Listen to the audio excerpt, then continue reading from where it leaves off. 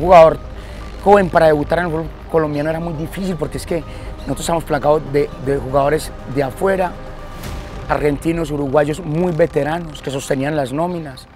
Eh, yo lo viví, incluso yo empecé a jugar con el Medellín, ya me empezaron a llevar, pero al siguiente año llegó Nelson Gallego y Hugo Gallego y ellos dijeron que no iban a jugar con jóvenes. Pero me dijo, no, no vamos a contar con ustedes. O sea, yo ya había pasado esa línea, pero de una me devolvieron, me dijo, no vamos a contar con usted. ¿Por qué? No, no vamos, a jugar con Pela, vamos a jugar con futbolistas ya hechos. Entonces me fui a, Itagüí, me fui al, Industrial de Itagüí, que era un equipo de la B que manejaba el profesor Norberto Molina, y jugué la B con ellos, con el Industrial de Itagüí, le decían el cariñosito.